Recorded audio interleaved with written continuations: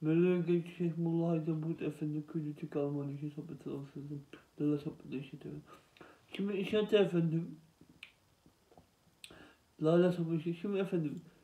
İslam alemi karıştı yani. Niye?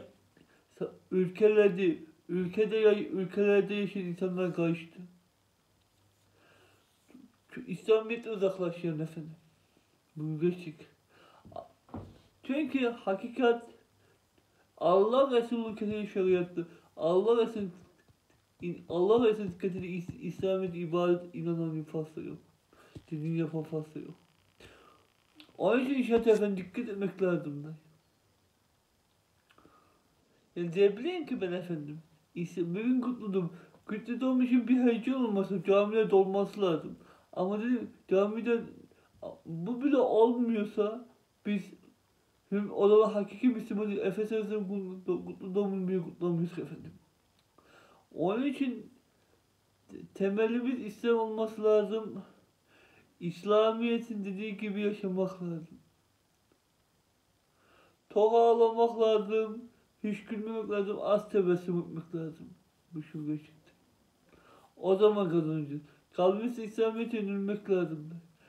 Fedakar olmak lazım. Manen ve madden bilinir ki İşte İslamiyet, İslamiyet geldi. Bir de sözde İslamiyet geldi. Ondan önce Hristiyanlık vardı. Musevilik, Yahudilik vardı. Onlar da gitti. Tevfik'e uğrayıp değiştirdi. Tam buna neyi gö kendime göre neyi gösterdi? Kendime göre diyorum ki İslam'ın tam biteceği zaman Aleyhisselam gelecekti. Ben öyle düşünüyorum. Tam Erşat'ı ve cevap biteceği vakit Aleyhisselam gelecekti. Ben bunu düşünüyorum. Aleyhisselam her şeyi arayacaktı. İnşallah Aleyhisselam'a geleceğini beklemeden önce kendimiz de bir, bir, bir Muhammed'in düzelelim. Bir namaza başlayalım. Bir Allah diyelim. Bir Muhammed Nebi diyelim. Salavat Aleyhisselam Resulullah diyelim.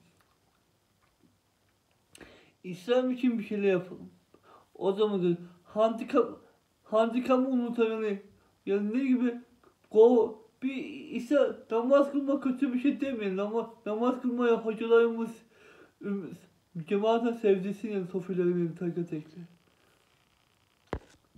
Sevdiğim İslamiyet, namazı sevdiğim, oyunu sevdiğim hacı kelime şöyle tam zamanı bir gün.